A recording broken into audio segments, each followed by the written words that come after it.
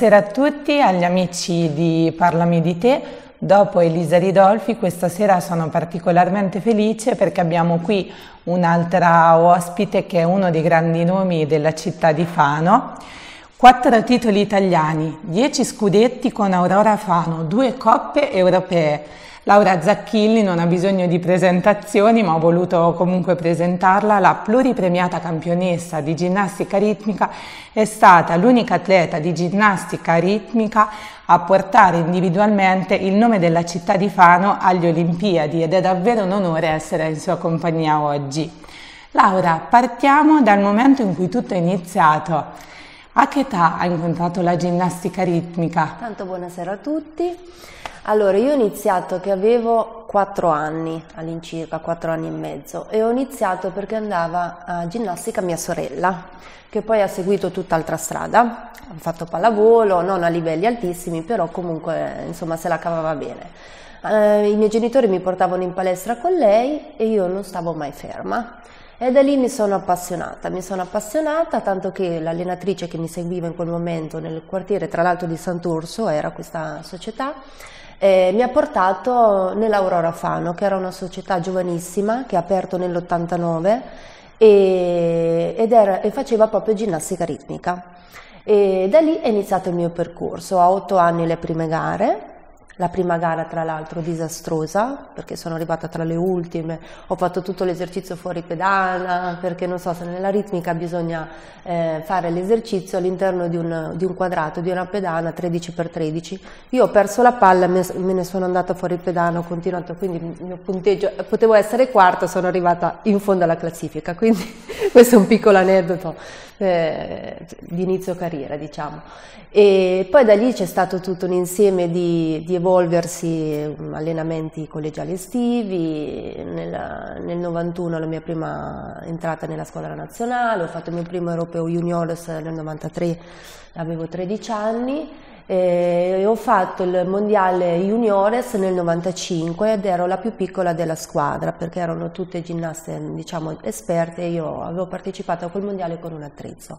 Quindi poi da lì insomma si è iniziata la mia carriera in salita se vogliamo con momenti più bui con momenti belli, gioiosi eh, con una carriera bella, mm, piena di sacrifici, ma comunque quando c'è la passione i sacrifici insomma non si fanno da parte. È così. Come dicevamo tu sei stata campionessa italiana individuale sì. assoluta per quattro volte, ti sei classificata al decimo posto ai mondiali di Madrid, quindi un buonissimo punteggio del 2001 e all'undicesimo posto alle Olimpiadi di Atene. Tra tutti questi successi, sono stati veramente tanti, ci vuoi raccontare qualcuno, perché penso che siano infiniti, momenti allora, emozionanti, il, qualche momento particolarmente Il primo sicuramente è il mio primo titolo italiano assoluto, perché è comunque il, il titolo nella, nella, ginnastica ritmica, quello più importante, che ti corona comunque campionessa italiana assoluta ed è quindi una grande, una grande soddisfazione. E poi sicuramente la qualificazione durante il Mondiale di Budapest per le Olimpiadi. Eh, io diciamo, mi, so, mi, sono infortunata nel, nel 99 eh, e potevo fare le Olimpiadi de, di 2000 di Sydney, ma mi sono infortunata e quindi diciamo che poi la mia, la mia preparazione durante il percorso estivo è andata un, insomma, un po' così, un po' un po' meno bene, quindi non sono riuscita ad andare a, a Sydney. Quindi per me andare alle Olimpiadi, quella successiva, era veramente grande, eh, gran, un grande obiettivo, anche perché per uno sportivo andare alle Olimpiadi penso che sia il coronamento di una grande carriera e quindi ci tenevo tanto e quindi prendere quella qualificazione per me è stato il momento più importante diciamo, della mia vita, sicuramente della mia vita sportiva. Sì. Ma in mezzo a tutti questi momenti bellissimi, c'è qualcosa che se tornassi indietro faresti diversamente, che vorresti cambiare? Che, che vorrei, volessi cambiare no. Mm, sicuramente mi, hanno, mi, sono dispiaciuta tanto degli infortuni che, ecco, come dicevo prima, purtroppo non mi ha fatto fare l'Olimpiadi che forse, probabilmente avrei potuto fare, perché sicuramente la qualificazione la dovevo prendere, mai dire mai, però magari potevo fare due Olimpiadi, chi lo sa. Eh, ho, fa- ho, preso questo infortunio, il primo durante ca- un campionato italiano che stavo vincendo, eh, mi sono infortunata proprio durante l'esercizio all'ultimo attrezzo, avevo il titolo nelle mani, durante l'ultimo attrezzo mi sono infortunata e quindi il titolo italiano è poi andato alla, alla, mia, alla mia compagna e chissà che magari quella Olimpiadi non l'avrei potuta fare anche io, anche perché mi ero appena insomma, laureata campionessa italiana. E quindi da lì poi c'è stato tutto un altro quadriennio dove ho dovuto puntare tutto eh, perché ho detto queste Olimpiadi bisogna che le faccio. E quindi ecco, magari l'avrei potuto fare prima, però chissà, mai dire mai nella vita. L'importante è che poi sono riuscita a fare quelle dopo, insomma. Questo aneddoto che mi hai raccontato del tuo infortunio della tua compagna mi dà un attimo l'assist per farti una domanda. Sì. Ma com'è l'ambiente della ginnastica ritmica a così alti livelli? C'è solidarietà o c'è solo tanta tanta competizione? Solidarietà, mm, perché no? Sicuramente in molti momenti trovi molte compagne, molte persone che ti stanno vicine, quelle di cui ti puoi fidare di più, che sicuramente eh, sì, ti danno molto sostegno. Però comunque nello stesso tempo è un ambiente di sole donne, quindi le donne tra di noi siamo molto invidiose, lo sappiamo, competitive, e poi lo sport comunque ad alti livelli è competizione. Ecco, io avevo questa mia compagna che è Susanna Marchesi, eh, che eravamo tanto, tanto amiche al di fuori, però poi sulla pedana eravamo, diciamo, rivali, ecco. Eh. Però al di fuori eravamo molto amiche, quindi ci sono persone di cui tu puoi fidare e persone no. Sicuramente i familiari sono quelli su cui la tua allenatrice e nel mio caso la responsabile della società Aurora Fano, Paolo Porfiri, la mia allenatrice Nani Londarizza, che comunque sicuramente sono persone che mi hanno sostenuto tanto, sì, nella mia vita, sì. Invece se ti chiedessi se c'è stato qualche momento imbarazzante, magari una caduta, ti va di raccontarci qualche aneddoto un po' così diciamo simpatico? Eh, imbarazzante non, non me lo ricordo sinceramente, no, imbarazzante no, forse il fatto di essermi infortunata proprio durante una gara, ecco, essere caduta in mezzo alla pedana durante una gara, non dico che possa essere imbarazzante, però sicuramente Mm, insomma mi ha portato molto dispiacere, quello sì, anche perché mi hanno dovuto portare fuori dalla pedana, braccio, è stato un attimino, però sono cose che capitano, però imbarazzante che io ricordo, no. no. La carriera sportiva richiede dedizione, richiede tenacia, ma anche rinunce. Tu eri giovanissima quando sei entrata all'interno di questo mondo e durante la tua adolescenza soprattutto a che cosa hai dovuto rinunciare? Allora sì, la carriera di uno sportivo, soprattutto nel nostro sport, inizia diciamo, il clou della carriera che si è molto giovani, adolescenti, diciamo dai 16 ai 20 anni, anche prima adesso. Eh, insomma siamo nel pieno della nostra attività. Rinunce, allora, quando c'è la passione io non parlerei di rinuncia, perché alla fine sì, è vero, non si può fare la stessa vita che può fare un adolescente diciamo normale, adesso non è che voglio sminuire questo, però eh, sicuramente la, la, carriera di un atleta a livello agonistico ehm, si rinchiude diciamo, dentro una palestra, noi poi nel nostro caso dalla mattina alla sera, dalle, dalle 7 alle 8 ore, insomma tutti i giorni. Rinuncia, sì, magari io facevo scuola privata, già quello, non andare a scuola come tutti i tuoi compagni, se vogliamo può essere una rinuncia, però facevo scuola privata con le mie compagne di, eh, dell'epoca e quindi stavamo bene lo stesso. Non si può uscire tutte le sere, ma comunque noi riuscivamo a farlo lo stesso, ma magari uscivamo di nascosto. Mm. Io sono stata dai 16 ai 20 anni in ritiro con la squadra nazionale a Follonica in Toscana ed eravamo otto ragazze, più o meno tutte della stessa età e quindi sì, abbiamo rinunciato ma ci siamo anche divertite tanto. Insomma, adesso non, non parlerei di rinunce perché poi tutto quello che non abbiamo fatto prima si può fare dopo, tranquillamente.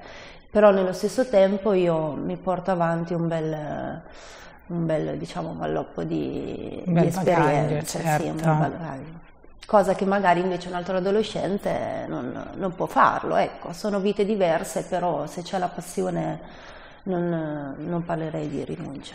Diciamo ci sono delle rinunce ma è una grandissima opportunità sì, che ripaga poi. Che poi dopo sì, non puoi ritrovare più avanti nella vita, perché poi la, la carriera sportiva inizia che sei giovani, ma poi insomma se inizi a farla dai 20 in su non è comunque una carriera sportiva, insomma non ti può dare quello che puoi aver fatto prima. Ecco.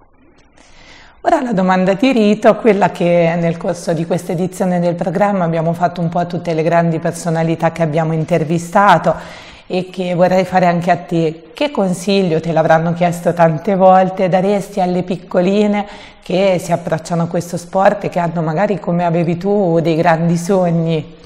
Allora, sicuramente di divertirsi, eh, di trovare quello sport che faccia star bene, che mm, faccia trovare nuove amicizie, che ti faccia star bene nell'ambiente in cui si è.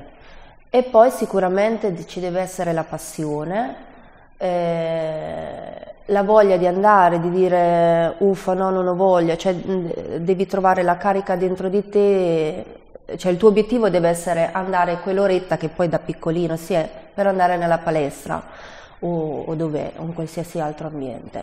Quindi secondo me la, mm, la, passione e la voglia di divertirsi sicuramente da piccolo, poi dopo da cosa nasce cosa, ma l'importante è che ci sia il divertimento, ecco, quello sì. La motivazione, la motivazione. quindi nasce sempre dalla passione. Sì.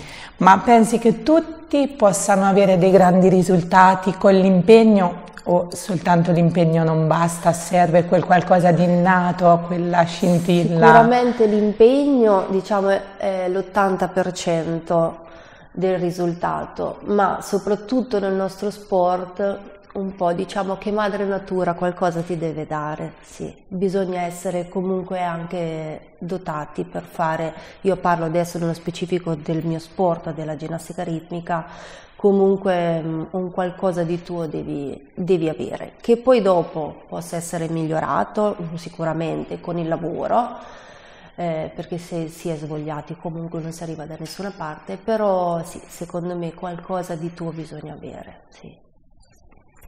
Infine eh, vorrei sapere chi è Laura Zacchilli oggi, perché abbiamo raccontato tutta la storia di Laura Zacchilli sportiva, ma poi abbiamo segui seguito dalle cronache dei giornali il tuo matrimonio, la nascita di tuo figlio, sì. come oggi la tua vita, che cosa fai? Io sono sposata con Raffaele, è un bambino che, di nome Nicolò che ha quattro anni e mezzo, che anche lui ha iniziato da poco a fare ginnastica e si diverte tanto, si diverte, anche se quando ci deve andare non ha tanto voglia, ma poi mm. quando lì c'ha tanta voglia. Lavoro in aeronautica, sono in forza al quindicesimo storno di Cervia e, e, continuo comunque a portare avanti la, la, mia passione che è insegnare ginnastica ritmica. Ecco, sì, infatti... sempre, non riuscirei mai a rinunciare alla ginnastica. E lavoro, insomma, ho lavorato nell'Aurora Fano fino a poco fa, adesso per motivi diciamo anche miei personali ho deciso un po' di abbandonare.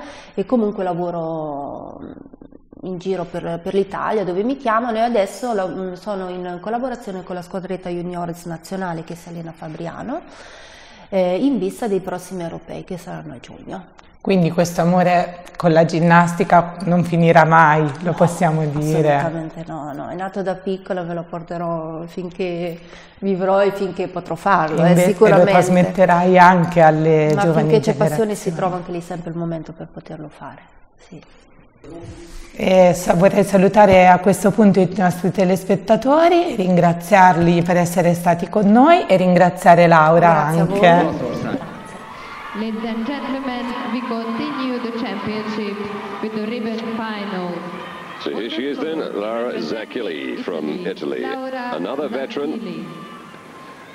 We're looking at Almudena just before the break uh, from Spain and uh, Zacchelli here. Also 23 years of age now. I think the oldest one performing in these championships overall is at 26.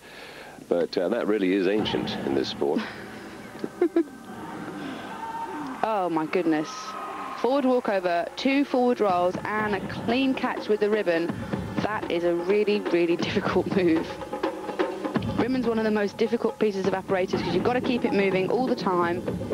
You can't let it stop or drag along on the floor.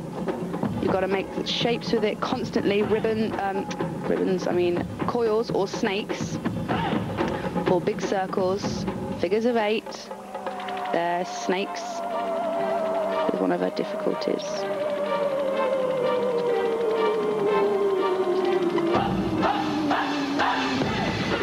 very difficult as well to keep the ribbon away from the body. You must make sure that it doesn't touch the body at all throughout the exercise. It's doing a great job so far. Mm -hmm.